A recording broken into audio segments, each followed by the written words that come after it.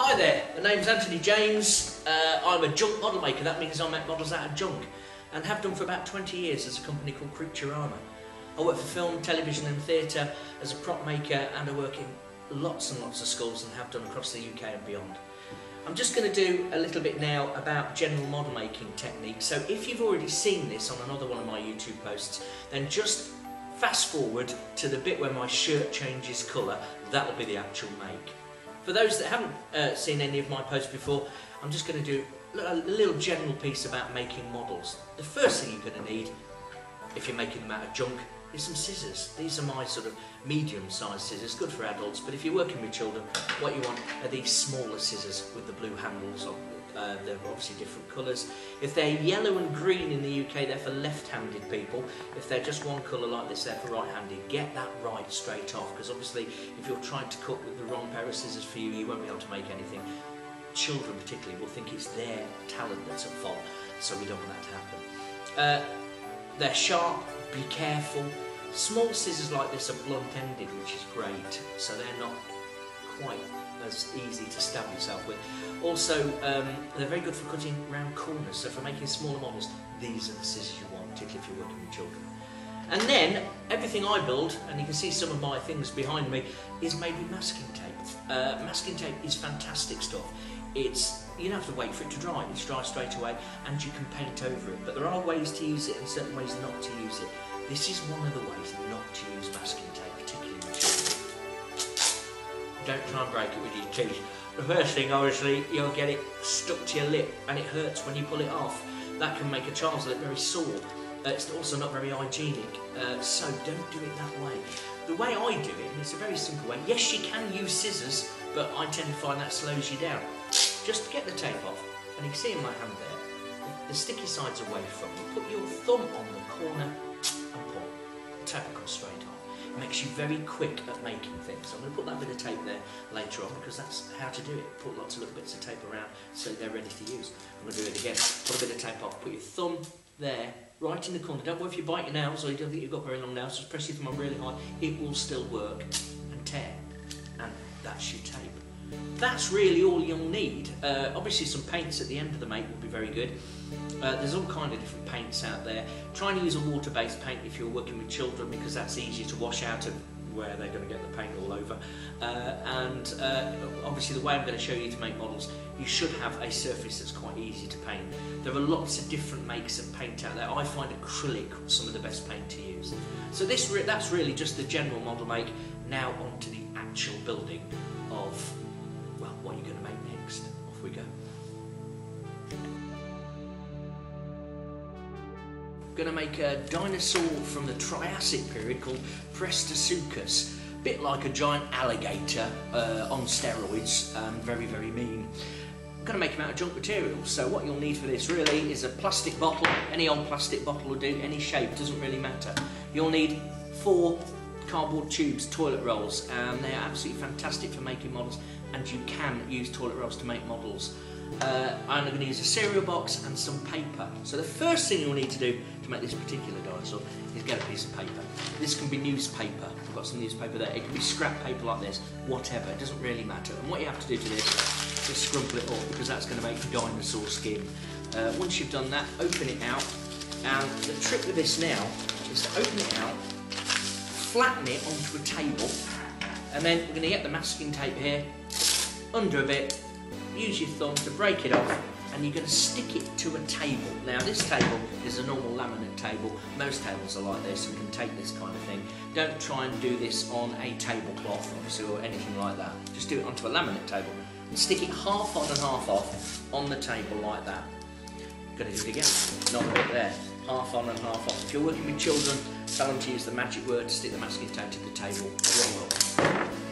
Wallop. Like that and then the last one to make sure the tape is half on and half off all the way around the paper and just stick it to the table. Now pull one of the corners off. You should get just a great big sticky patch of paper like that ready. Just lie that now upside down on the table, get your bottle and roll your bottle over the paper like that and cover it see there that effectively that's covered the bottle. And that's what you need to do. Just cover that bottle with paper. Now the piece of paper I've just used wasn't quite enough to go all the way around the bottle. I've got a bit bit showing there. And again, that's the beauty of masking tape. There's a couple of strips of masking tape over that and all that plastic is gone. You'll need to cover all of the bottle because the bottle's made out of plastic and it's very difficult to paint plastic. Once you've done this, this sort of start to this build, that's the basis to lots of builds. Rockets, spaceships, animals, deep sea creatures and dinosaurs. Today it's Prestosuchus. The next thing we need to do is make a tail. For that, use just a normal cereal box or thin cardboard. I've got my scissors here and what I'm going to do, I'm just going to cut down one corner of this box all the way like that to the bottom to open it out into a big piece of cardboard because that's what I need, that big piece of cardboard there. I'm now going to cut a really, really big triangle out of it. Now when I say really big, I mean really big. It's amazing how many people do a very, very, very tiny little triangle and think that's going to work. What you need is something about that big, like that. Nice big triangle. Put that on the table, fold it in half.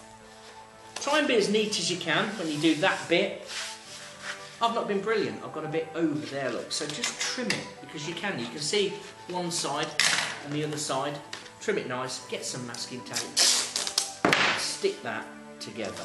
Now this is the same on a lot of dinosaurs and a lot of makes, this little bit here, where we stick that triangle, triangle together to make what is essentially a large cone, like that. That's what you need. Now that cone can make the top of a rocket. Okay? It can make the tail of a fish, of a shark, of a whale. You've probably just seen that actually on mine, it's a bit big. So I'm going to cut it down a little bit. So go to the bottom, cut off a little bit like that. Measure this yourself. You'll be able to tell whether it's too big or not. That's about it. Now what you do is you stick it on the bottle. So just put that there, like that.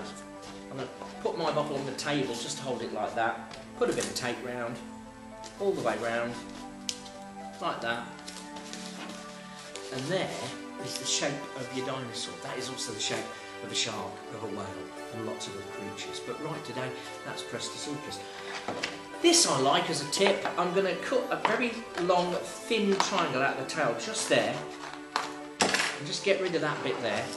And just use some of the masking tape and just stick that back together. What that does is it just puts that, that kink in the tail, which is very dinosaur-y, just have your tail kinked up at the end like that. You can see there that obviously that's also a way of making pterodactyls and birds, but today, Prestosuchus that way around. The next thing you're going to need are some legs. Now, this is where the toilet rolls come into their own, and this is just fantastic. Toilet rolls are brilliant for making everything. Just squish them, get a pair of scissors and cut out a very long, thin triangle. You almost cut the toilet roll in half, but don't. So you've got that. Now that bit, save that for later bend it and you've made a knee. And that's a lovely, lovely little mate. What you do now is you've got to stick it together. Sometimes when I work with children in schools, they forget that actually just stick these together. So a bit of tape, just there, that bit didn't stick very well. And just push that together, put your tape over.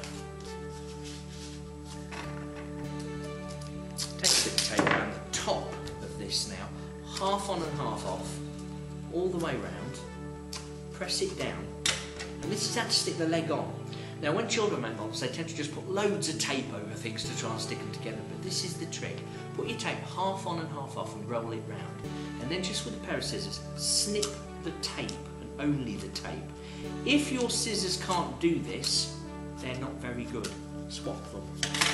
And then open those petals out like that and you'll make a sticky flower. Now the good thing about sticky flower is it's sticky. Decide which is the top. I like the tails on my dinosaurs sticking up at the back, not trailing down on the floor. In reality, obviously dinosaurs didn't drag their tails along the floor, that would have made them sore and painful, so they had their tails flicked up like that, so do that with yours. And then just stick your leg on. Now, this is my petals there. I can put it there and decide, yeah, that's a, mm, I don't know, I'm going to put it there. You've got time to decide where it's going to be. I'm going to put it there and then press the petals down. And then you do that another three times. And there through the magic of Creaturama, are the next three legs attached. Now you can see there that they're sort of either side of the body of the creature. That means the model stands up beautifully on a table, so that's, that's how to put the legs on. Next is the head. Now this is sort of the, the piece de resistance of, the model, of this particular model anyway. Prestosuchus had a very, very big mouth, that sort of alligator uh, shape. Now, here's that piece of cardboard that we used earlier to make the tail. So what I'm going to do, I'm just going to use a bit of this. What you do is you cut out what is essentially a volcano shape. So up, across and down. And that's it. Use that now, just fold it in half, like that. And now, you see the end there? Just cut the end off like that. Use a little bit of masking tape, join it together. There and there. Now, while it's closed, get your scissors and go snip, snap, snip, snap, snip, snap, snip, snap, snip, snap, snip, snip, snap, snip, snap. Keep going all the way along. And of course, you're creating a row of sharp, pointy teeth. Pull the little, little bits out. And because you've joined that edge together, that's now made the jaw. What I'm going to do, I'll just get a little bit of tape, stick it half on and half off onto the back of that jaw, and put the bottom jaw on first like this. Just stick it there and put your tape up. And that's your bottom jaw. We're now going to rush ahead and I'm going to make that so you can see that next version finished. Right, here's the top jaw which I've just made as well and I'm just going to put that one on as well. And I'm going to have it with its mouth sort of gaping open like that. Just fold the tape over like that and there is really most of your Prestosuchus made. Now, obviously you can see there's an alligator or a crocodile. I make no apologies, it's the same make. So if you want to make a crocodile or an alligator, that's how to do it. For your Prestosuchus, I'm now going to just do some um, spinal plates. Now, these you'll recognise we cut out earlier from the legs. All you do, put a thin bit of tape. I've just, I'll show you that. I've just got a bit of tape like this, and I've just ripped it that way. So just so that I can put that in the middle of those and then I'm just going to stick those along the back like this. Now a little trick that I use is when I've done that I also get another little bit and I brace them the other way across. Now that makes that a very strong little joint, it won't fall off and it's worth doing, it's worth doing that that second way across and I'm now going to do another one. So a bit of tape there. I'm going to put that across the middle just to show you. Put that there. I'm going to do the next one. I've got one just over there. I'm going to put that there. You can see really you should have four. I've got one more there. Cross brace them and you will effectively be finished. That's really it. You can if you want to use another one of these shapes or even a little hill shape. So go up the hill and down the hill, use a little bit of tape, just like that, there's just, just up the hill and down there, a little curve like that. I'm just going to put my tape over it, press the tape over it nicely, cut some petals out, snip, snip, snip, snip, snip, snip, snip, bend that to make an eye sort of the, the brow ridge of a dinosaur like that. Look. Press it on. Make sure all your tape's pressed down. And there's your Prestosuchus. All you have to do is paint it. Now what I suggest when you paint these, paint them one colour all the way over. So say yellow, just paint it all yellow. And then paint things on like stripes or spots to make it uh, and make it a bit more exciting. I just happen to have over here. Here's one made earlier. There it is see there, they are really the same make. One slight difference, when I built this one, I've uh, built it with the top of the bottle in its mouth, as you can see there, but this one's got the bottom of the bottle in its mouth. It doesn't really matter. The only difference is if you put a red balloon, take the top off there, put a red balloon in there, when you squeeze his belly, he'll stick his tongue out at you, which is just a nice feature. So there, Prestosuchus, quite an easy, simple dinosaur. Enjoy it, have a go, Thank you.